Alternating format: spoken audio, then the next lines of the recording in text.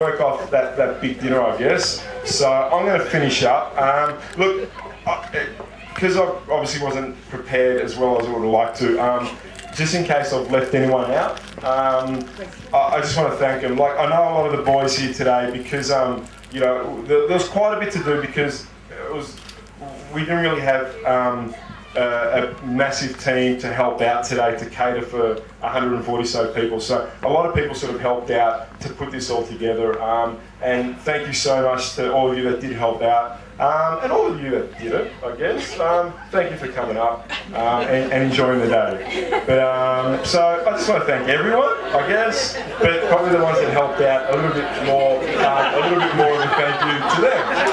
Yeah, that sounds pretty fair. Adrian, thank you so much. Um, I, I, hope you've enjoyed having us all up here, I guess, and kind of seeing the farm, you know, transformed in, in, a, in a way that, you know, may, may not have, you know, seen for a few years. So thank you once again. Um, we promise to clean it all up. Put it back to where it was. We're welcome back every 7th of January. Fantastic. We'll be here every Friday. for our anniversary. Not everyone. Oh, I like thank you know, look, you got to, you know, thank you for coming up. You know, she's, you know, she's a little bit fragile, and know, it was, it was, it was a bit hard to get up here as well, um, as well as Frances' grandparents too. So, thank you all for coming. Enjoy the rest of your night. Please get up and have a dance. We're going to serve a bit of cake and dessert a little bit later with some coffees and stuff. Um, so make room for that. Thank you all for coming once again. Enjoy.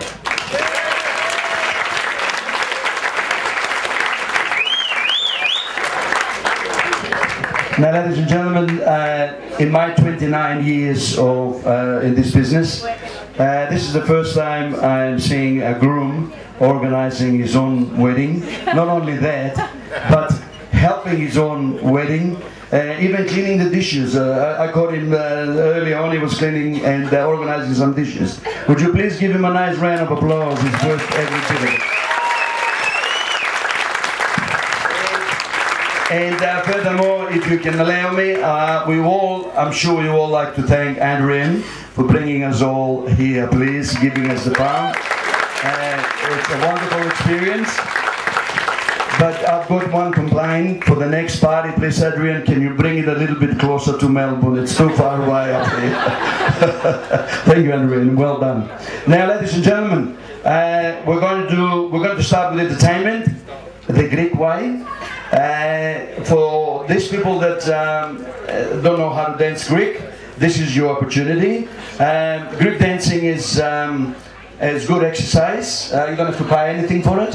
And uh, we're going to do some uh, Greek and then we're going to play a lot of English. So don't think that I'm here just for the Greek.